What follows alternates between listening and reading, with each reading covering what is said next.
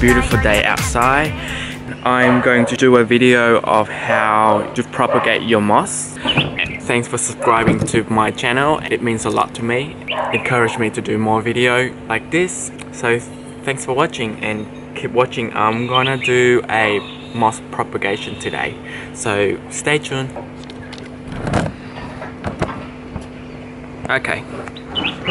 Okay, so what I have here is the seed raising mix because I feel like it's softer for the moss to grow on um, compared to the other potting mix.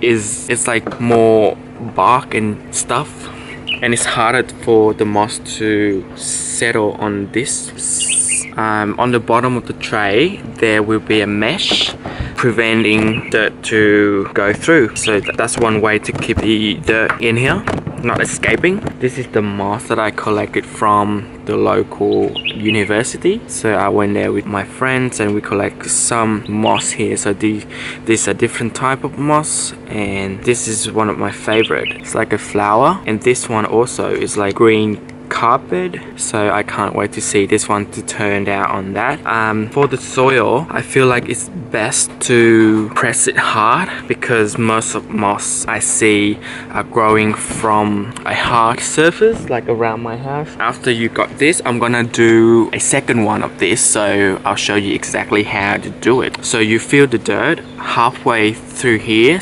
The reason for that is um, when the moss grow you also it's gonna take a little bit of space um, and also it preventing the moss exposed to the air so it's not dry out so quickly.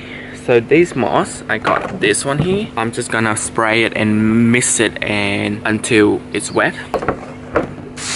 Yep so you see you see the water dripping out of the tray? So that's when it's ready.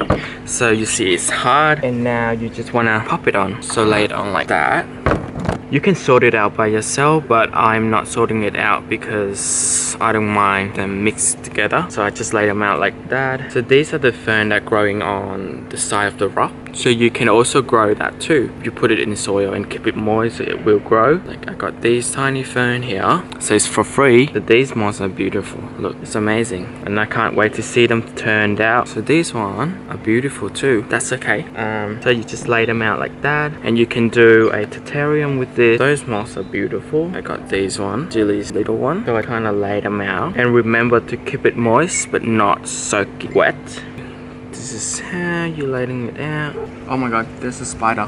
There's a spider. Okay. So I get that's how you're propagating your moss. So now all you have to do is keep it moist and keep it in the shady area but not exposed to the sun or it will dry out really fast. You'd also need drainage for this one and cause, because this one you see here, they have holes on the bottom and I put mesh under the, the soil to drain away when I water. So this one will will grow out eventually but the first time you do this from the natural inhabited you need to cover it up. You can also cover it up with the uh, plastic wrap to prevent the moisture from escaping. Um, so yeah so this is one way I propagate it for my terrarium. Um, you can also see that this one is also beautiful if you make it like, like in a little ball put it on top so it's gonna grow out. And you can also even hang it on um, a string so it's gonna be a, a, floating moss and it's quite beautiful. So so yeah so that's one of my terrarium ideas for you guys. So you can make a solid balls and wrap it around with moss and hang it inside a glass um, terrarium. So yeah